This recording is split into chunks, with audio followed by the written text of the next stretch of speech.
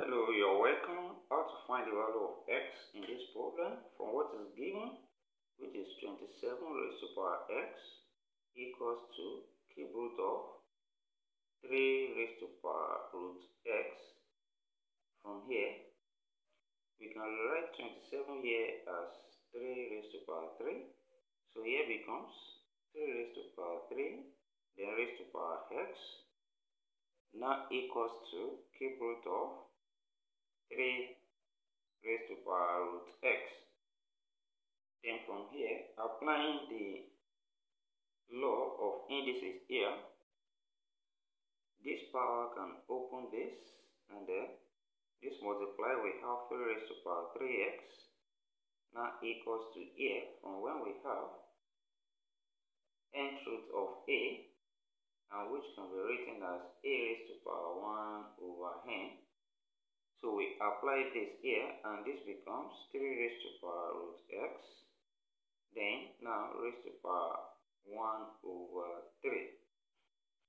Then also from here, this power also multiplies from here. And this becomes 3 raised to power x, 3 raised to power 3x, now equals to 3 raised to power root x over 3. And from there, we have same base from here. Then when we equate the bar, this becomes 3x now equals to root x over 3. Then next, from here, we cross multiply. This is 3x over 1. And when we cross multiply, 3x times 3 here, that's 9x now equals to root x times 1, that's root x. Then next, we can take root x to this side, and here we have 9x now minus root x now equals to 0 from here. Now we can write x as same thing as root x times root x will give us x. So let's replace x here as root x times root x. So we have 9 times root x, then times root x minus root x now equals to 0 from here. Then next we have root x common. So when we factor that out, that will be root x into bracket what is left here will be 9 root x. Then what will be left here will be 1. Then equals to 0 from here. Then next, we have either root x equals to 0 or we have 9 root x minus 1 equals to 0. Then from here,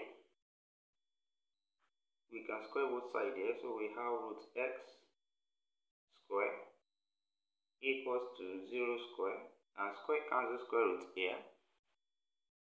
Here we mean x which is equals to 0 square is still 0. So we have x equals to 0 on this side. Then from here we have, let's take 1 to this side.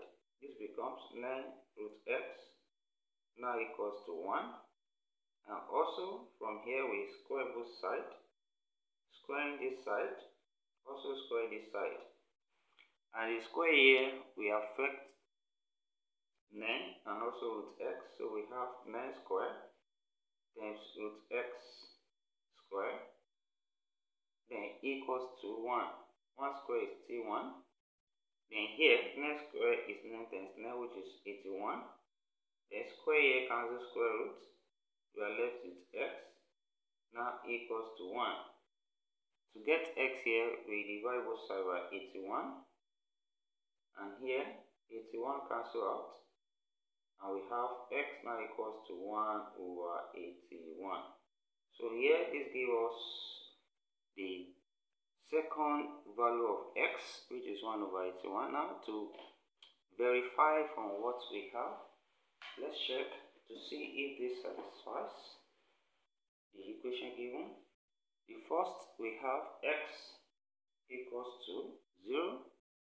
Substituting x equals to 0 here, this becomes 27 raised to power 0 equals to cube root of 3 raised to power root 0 from here. Then next, from here, anything raised to power 0, when we have a raised to power 0, that will be 1.